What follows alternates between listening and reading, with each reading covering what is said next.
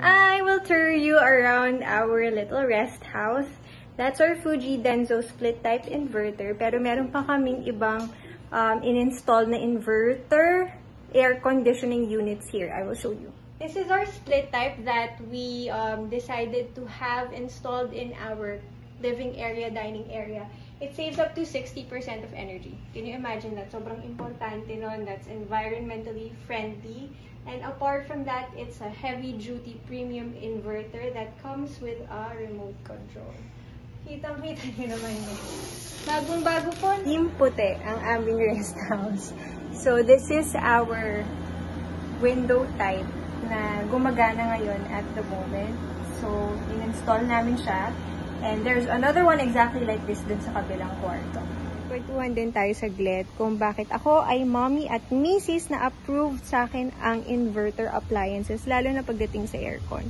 Initially, syempre, yung iipunin natin para makabili tayo niyan, mas mahal ng bahagya kaysa dun sa mga nakasanayan natin na um, old aircon units. Pero in the long run, sobrang bawing-bawi naman mga misis. Kasi napansin ko, nung nag-switch kami to inverters, talagang yung electric bill namin went down.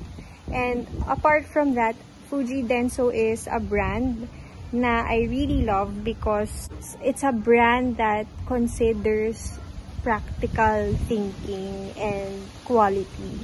So for somebody like me who is a little wise when it comes to uh, where I put my money, I love that Fuji Denso is abot kaya. I can save up for these appliances and eventually invest in them. And apart from that, I get warranty for that. I also have, um, they also have service. So anytime that kailangan kong magpa-repair, alam ko may tatawagan ako at pupuntahan nila.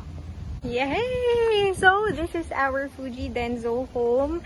Napakita ko na sa inyo ang aming ref, ang aming air conditioning units, at talagang ang aking, um, ayun siya, ang aking washing machine. So, I hope you guys will also consider my suggestions at sabihan nyo ako kung approve din sa inyo yung mga choices ko. Mwah! Be kind, love, and thank God always.